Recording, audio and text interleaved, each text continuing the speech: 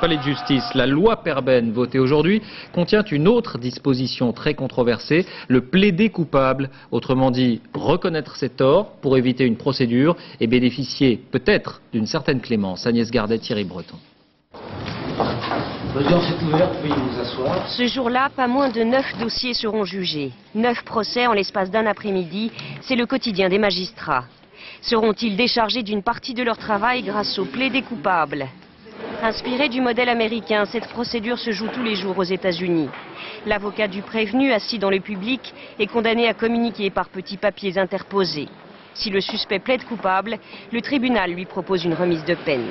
Principale différence en France, cette négociation n'aura pas lieu en public mais dans le bureau du procureur. Si le suspect avoue, le magistrat propose une peine sans transiger, promet-il. C'est une comparution sur reconnaissance de culpabilité, donc sur une culpabilité qui doit être établie par la procédure. Nous ne sommes pas dans une hypothèse de marchandage. Ça, je crois que c'est une idée qu'il faut totalement écarter. L'avocat sera présent, certes, mais bien peu veulent endosser cette responsabilité.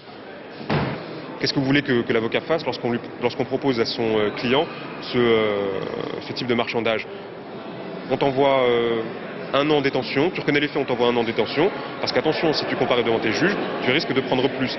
Le plaidé coupable concerne les délits dont les peines peuvent aller jusqu'à 5 ans de prison.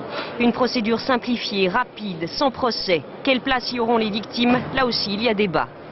Comment peut-on considérer que la victime est dispensée, privée de l'audience qui va lui permettre de s'exprimer et de dire sa souffrance Le gouvernement avance, lui, un autre argument, l'efficacité. Le plaidé coupable pourrait désengorger le système.